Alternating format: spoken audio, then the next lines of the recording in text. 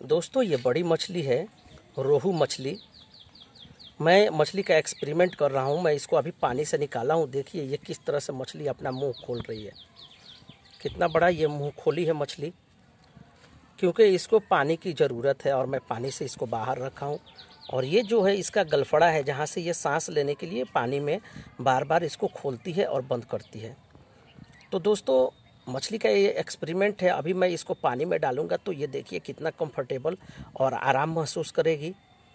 देखिए, मैं इसको पानी में डाल रहा हूँ। ये देखिए दोस्तों।